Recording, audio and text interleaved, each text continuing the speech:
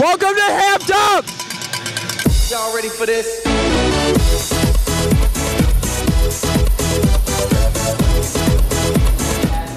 This past Friday, Hamped Up traveled to see a Springfield Thunderbirds hockey game at the Mass Mutual Center. The Thunderbirds are playing in their inaugural season and are the AHL affiliate of the Florida Panthers. The Thunderbirds took on the Syracuse Crunch and fell 4-3 after a late comeback fell short. The Crunch opened up with a 4-0 lead before Springfield scored three goals in a span of less than five minutes to cut the lead to one. After the game, I caught up with head coach Geordie Kinnear and forward defenseman Sena Acolatse to talk about their thoughts on the game. Well, they, they capitalized on the opportunities. I, I didn't think uh, either team early on had much jump. There were uh, many chances either way, and you give them a couple of chances, a two on one and a breakaway, and they they have the skill level to capitalize. Uh, uh, and you can't you can't chase the game. We chased it.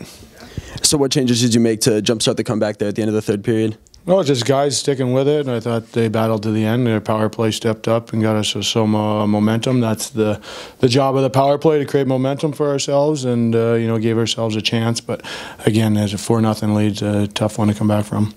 Uh, I mean, every night we're there. We battle every single night. Like uh, we're a young team, so I mean, it's it's tough to lose those games. We just got to keep moving forward. But uh, it's good to see that we have that uh, resiliency. Um, on our team, and guys never give up. Though we'll give it to the end, so that's good to see. And uh, the stadium got pretty loud once you guys started the comeback. So how does it help your momentum playing in front of the home fans here? Oh, it definitely helps a lot when there's a big crowd in the in the stands. Uh, gives you that extra umph that you need. Um, definitely helps. I mean, the crowds have been good this year. So there were a couple of defensive lapses early in the third period. What do you think your team needs to do to stay focused for a full 60 minutes? Well, I think we stay focused for 60 minutes. I just think uh, mistakes that we make uh, are costly because we don't score a lot of goals. And, again, you can't. Uh, a team that doesn't score a lot of goals, it's tough to come back from four nothing. So we got to do a better job capitalizing on our chances. So now we're not chasing the game; the other team's uh, chasing us. Coach. In other sports news, both the boys and girls basketball teams qualified for the postseason last week.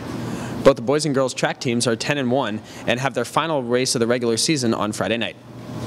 The boys swimming and diving team is 6 and 3 and the girls swimming and diving team is 3 and 6.